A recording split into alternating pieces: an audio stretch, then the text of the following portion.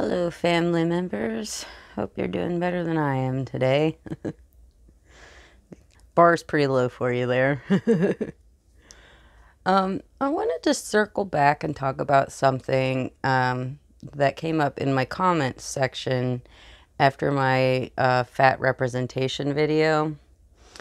And I wanted to explain something that seems to be a point of confusion, which is the actual purpose of representation. Because I think that people kind of get it backwards a lot of the time when they, you know, people who are against representation or don't understand it, they get it kind of backwards. So there's a guy who calls himself a comedian, right wing guy, and he got real mad after uh, Black Panther came out because everyone was talking about how wonderful it was to have representation of a black superhero. And his way of responding to that was to like go on Twitter and, and put out sarcastic tweets about how the, there was no one he could relate to in the movie because no one was white. And I think that what he was thinking, the way that he saw it, was that people want representation of people who look like them and are like them so that they have someone they can relate to in a, in a piece of work. And that's not right. Because, you know, marginalized people have to relate to people in works of fiction that aren't like them, like all the time, you know? It's not that, that we can't relate to people who aren't like us.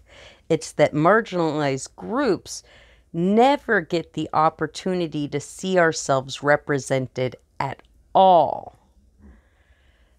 And that's the problem. It's not that a character who isn't like me is is impossible for me to relate to. It's that it feels very discrediting and invalidating to never see yourself reflected in your media, in your broader society. It's it's more insidious than that, you know? It's not something that one movie or TV show can fix, you know? because it's important for people to see all different types of people in the media they consume, both for their own benefit and for others' benefit. I think that that one of the things that really upsets me is is how in how invisible people with uh, disabilities are made to be in the society. Um, a while back, I, I discussed this too. I, I saw a meme where they were talking about um, what you would say to your child if they said something like, What's wrong with that kid? and pointed to a disabled kid uh, in public. How would you react? And it's like, that's so dystopian to me that a child that was that would be old enough to vocalize that thought wouldn't have been exposed to enough different type of people and seen disabled people enough to know that some people are disabled and that's fine, you know? And that's the importance. It's important for people to see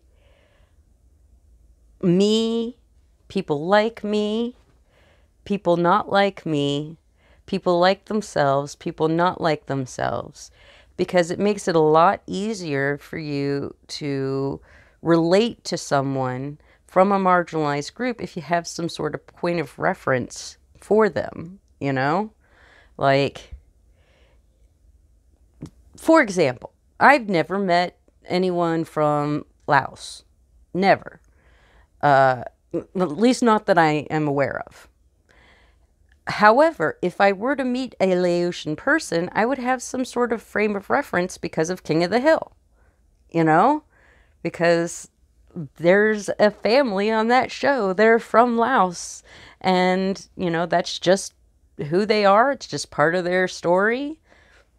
And and that representation is enriching to me, even though it doesn't make them easier to relate to as characters. It's not about relating to the characters individually. It's about being able to relate to characters occasionally and for other people to get to see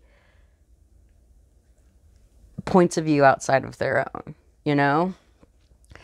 Uh, we I also I also got, you know, like well people want to look at sexy people. So of course they're going to put sexy people in movies and stuff like that. And it's like that that doesn't make sense to me. You know, like not all entertainment is enhanced by having beautiful people. I mean, look at look at um, Nicole Kidman's fake nose that she had to put on to to get her Oscar, or uh, all they had to do to make Charlize Theron look like Aileen Wuornos, or you know how dressed down uh, Halle Berry was for her uh, in Monsters Ball. You know, like in order to make these extraordinarily beautiful people look like they could be part of a realistic story, you almost have to taint that beauty, right? And so it's like, why not just have like real people in our stories? You know, why not have people of all different body types and all different skin colors and all different backgrounds and all different le- levels of abilities of different things, you know, short people, tall people, instead of having any sort of representation like that be like side characters or people in the background, you know? The main characters are usually able bodied and thin and male and white. And that is not representative of our society. Some stories should still be about people like that, but some stories should be about people that are not like that. That's what it's about. It's not about taking away. It's not about saying that it's bad for uh, people's story to be told. Everybody's story should be told. You know, that's the point. And and I just I, I think it would be really beneficial for society if they did see, you know, people with visible disabilities just casually included in you know their media. And it's not like a big deal you know? Like that's what they talk about with queer representation right? A lot is they'll talk about how like a lot of times it, in early days of queer representation being queer was like the most important thing about the character it was maybe even the thing that drove the plot you know and there was a lot about like suffering and stuff and now we're learning to have representation that includes queer joy and that includes, you know, people just living their lives who just happen to be queer, right? We need that for disabled people and overweight people and um, people of all races and backgrounds and and if we had that then when people encounter people who are different than them they will feel less foreign. You know? Like if you're not used to hanging around people with Down syndrome, the first time that you're around someone with Down syndrome, you might be like, "Oh, what what's going on here?" you know? But if you're like me and you were raised around uh, people who were uh, and disabled of all types, because my parents both worked with disabled children, and my dad's job was, uh, you know, profoundly mentally impaired teacher, and uh, teacher of profoundly mentally impaired children, I guess I should say. But um, you know, for me, uh, I can see the like a person as a person first, and whether or not they have a visible disability, because I am used to interacting with people with visible disabilities. You know, and if we if we interact with people of a lot of different types of being, it makes us better humans because we're able to see the the needs and the wants of people outside of our immediate community so much better. You know, uh, I I've learned a lot about Uganda because I have a neighbor who lives in you know was live who was from Uganda. You know, I've learned a lot about Zimbabwe because my second family is from Zimbabwe. I've learned a lot about Japan because I had friends in college from Japan. You know, like exposure breeds familiarity, and familiarity brings friendliness, kindness, community. You know I I uh, I learned so much from watching YouTube videos about uh, the younger generations. You know, the all the stuff that they're into because a lot of the creators on YouTube are going to be significantly younger than me. You know, I'm 42 years old. That's just the way it is. You know, that's I'm not going to be the median age on on this. And so, being in uh, in uh, watching so much YouTube, I've basically become exposed to people that I never really got a chance to to know, you know, because they were in high school when I was in my like degenerate college days, you know, drinking and partying and going to rock shows and stuff, right? So we we were not living the same kind of life. And so it's it's it makes it a lot easier if I were to meet somebody who had those same cultural touchstones. It'd be easier for me to befriend them. And I just think that when people think about representation, they feel like marginalized people are saying we can't relate to the white man. And that's not it. It's it's our problem is that white men need to learn how to relate to us. and it and that it's very affirming and you feel less alone when you see people who look like you. When you hear the stories of people who have stories similar to yours. And I just I think it's a shame that we get the conversation about representation gets derailed because people don't understand the point of it is not to uh, denigrate any of of any individual piece of art that's been made thus far in the world and, and say that there's something unrelatable about their characters.